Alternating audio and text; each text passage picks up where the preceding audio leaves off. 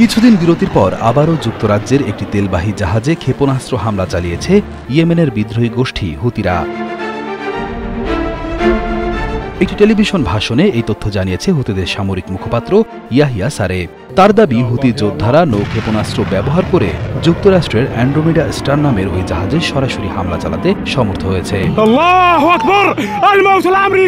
এছাড়া ইয়েমেনের সাদা অঞ্চলের আকাশ সীমায় যুক্তরাষ্ট্রের একটি ড্রোন ভূপাতিত করার তথ্য জানিয়েছেন তিনি।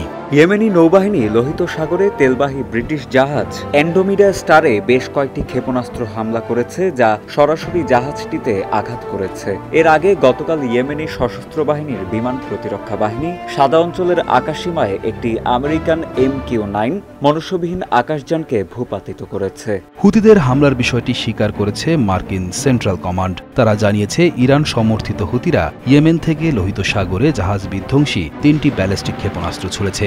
এর ফলে ক্ষতি হয়েছে অ্যান্ড্রোমিডা স্টার জাহাজের। এদিকে অ্যান্ড্রোমিডা স্টার জাহাজে হামলার পর আবারও অভিযানের ঘোষণা দিয়েছে ইয়েমেনের বিদ্রোহী গোষ্ঠী হুতিরা। তাদের দাবি গাজার সহিংসতা বন্ধ না করা পর্যন্ত এই হামলা চলবে। গাজা উপত্যকায় ফিলিস্তিনি জনগণের বিরুদ্ধে আগ্রাসন বন্ধ না হওয়া পর্যন্ত হুথিরা ফিলিস্তিনি জনগণের সমর্থনে আরও সামরিক অভিযান চালিয়ে যাবে। উল্লেখ্য গত অক্টোবরে গাজায় ইসরায়েলি হামলা শুরুর পর থেকে গাজাবাসীর পাশে রয়েছে হুতিরা। ওই অঞ্চলে সাগরে একের পর এক পণ্যবাহী জাহাজে হামলা চালিয়েছে হুতিরা। এরই সর্বশেষ নজির এই হামলা।